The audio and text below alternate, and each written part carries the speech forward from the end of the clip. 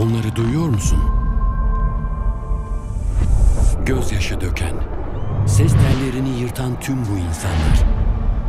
Kazanmanı izlemeye geldiler.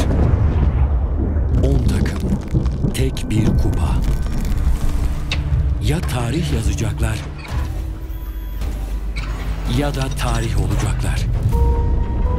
En iyilerden gelenler, en iyi olmak isteyenler. Ya av olacaklar ya da avcı. İsimleri haykırılacak. Ya öyle ya da böyle. Hepsinin tek bir amacı var ve onun için yaşıyorlar. Aslında tek soru şu. Kim daha çok istiyor?